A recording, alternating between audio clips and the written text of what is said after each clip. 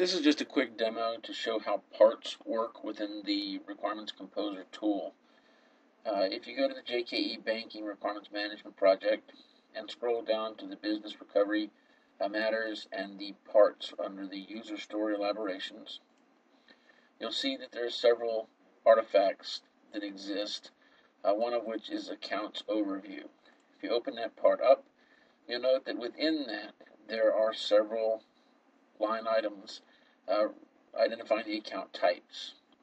Now if we go back to the previous screen and we look at the actual user interface sketch and we look at the accounts overview page, we will see that within the page the accounts overview part is being utilized to show uh, the again the account types.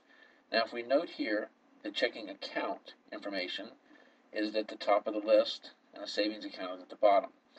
We're just going to take a real quick example here and show how uh, a part can be manipulated and uh, and change how the uh, the the user interface sketch looks.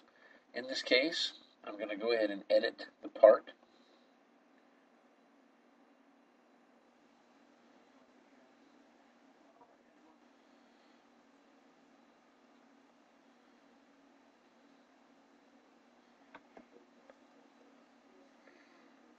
by selecting the line item and simply moving it down to the last space.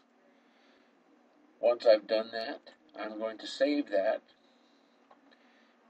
And now if we close out our artifact, we can go back into our original user interface sketch and we will note that the checking account is now no longer at the top, it is at the bottom of the, uh, the, the account overview page. So very quickly and easily we, uh, we can change any part um, and impact all the drawings and all of the other artifacts which contain those parts with a very simple modification of the original part.